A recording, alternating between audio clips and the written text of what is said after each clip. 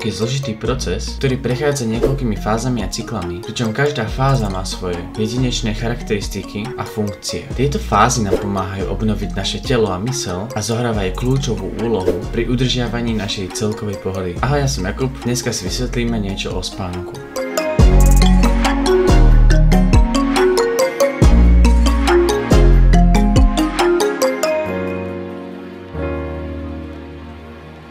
Samostatný spánok sa dá rozdeliť do niekoľko fáz. Fáza 1 predstavuje prechod medzi bdením a spánkom. Trvá len niekoľko minút a počas nej dochádza k postupnému spomaleniu našeho dýchania, srdečného tepu a zároveň krvného tlaku. V tejto fáze sme ľahko prebuditeľní a môžeme zažiť zážitky, ako je pocit pádu alebo záchvevy tela. Fáza 2 nás zavádza do ľahkého spánku. Ten trvá približne 20 minút. Naše telo sa ďalej uvoľňuje a teplota tela začína klesať. Mozgová aktivita klesá pod úroveň bdelosti, ale ale občas sa objavia krátke elektrické impulzy, nazývané spánkové vretienka a väčšie vlny označené ako K-komplexy. Tieto javy nám pomáhajú udržať spánok a konsolidovať našu pamäť. Fáza 3 označuje hlboký spánok, ktorý trvá približne 30 minút. V tejto fáze je ťažké nás prebudiť a ak sa tak aj stane, môžeme byť dezorientovaní a ospalí. Dominantné pri tomto sú pomalé a dlhé mozgové vlny, známe ako aj delta vlny. Tieto delta vlny sú dôležité, pretože nám pomáhajú obnoviť fyzickú energiu, podporujú rast a opravu tkaní,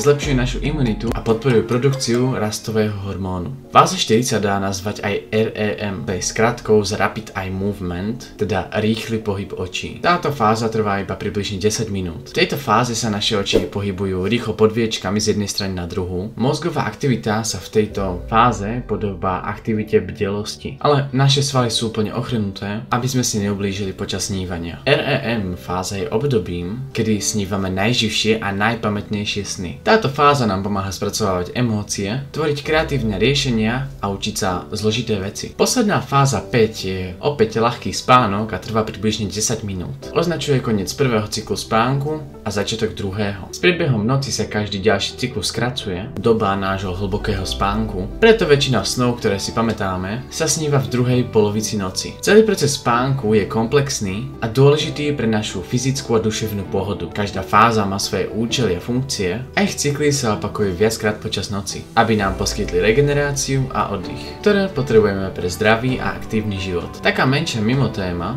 je napríklad dĺžka a kvalita spánku. Dĺžka a kvalita spánku sú dôležité pre naše zdravie. Nedostatok spánku môže viesť k problémom s pamäťou, koncentráciou, náladou a fyzickým vnímaním. Dlhodobý nedostatok spánku môže zvýšiť riziko rôznych chorôb, ako sú obezita, cukrovka a rôzne ochorenia. Optimálna dĺžka spánku je značne individuálna a závisí teda od viacerých faktorov ako napríklad veku, tehotenstva, predchádzajúcej spánkovej deprivácie a teda aj kvality spánku. Všeobecne sa odporúča, aby dospelí spali 7 až 9 hodín denne, co to deti a tínedžeri potrebujú napríklad viac spánku a zase starší ľudia menej. Odporúča sa vyhnúť modrému svetlu pred spaním. Modré svetlo je typ žiarenia, ktoré vydávajú rôzne elektrické prístroje ako sú napríklad notebooky, či už smartfóny alebo televízory. Modré svetlo má negatívny vplyv vplyv na tvorbu hormónu melatonínu, ktorý je práve zodpovedný za kvalitný spánok. Melatonín sa tvorí za tmy, najmä v noci. Čím viac melatonínu vytvorí telo za noc, tým lepšie sa ráno budete cítiť odpočinutý. Preto by ste sa mali pred spaním vyhnúť modrému svetlu a vypnúť všetky elektronické zriadenia aspoň hodinu pred spaním. Ďalej by sa nemala ťahať do postele práca. Postiel by sa mal používať práve iba na spanie. Ak si do postele berete prácu, notebook alebo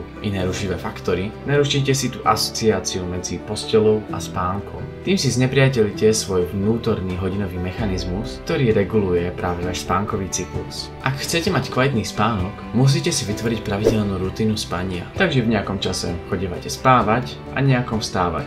A to dodržiavať. No dobre, to bolo video, čo sa deje počas nášho spánku a takisto aj ako si zaradiť čo najlepší spánok. Dúfam, že som to práve tebe dobre vysvetlil. Ja som Jakub, prajem ti pekný deň a sladké sny.